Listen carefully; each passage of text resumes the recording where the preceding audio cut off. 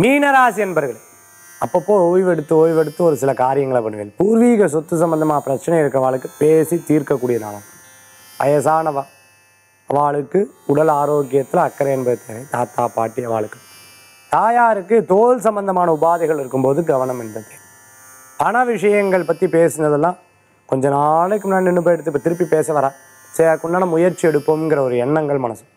அரசு ப்ராஜெக்ட்லலாம் எதிர்பார்த்துட்டு இருக்க கொஞ்ச நாளில் திருப்பியும் உங்களுக்கு உண்டான நடைமுறைகள் நடைபெறுத்தக்கூடிய வாய்ப்புகள் இருக்கும். பேக்கரி வச்சுருக்கிறவா இருக்கிறவா ஃபுட்டு சம்மந்தமான ஸ்டால் வச்சுருக்கிறவளுக்கு இருக்கிறவளுக்கு பண வரவுகள் கூடி வரும்.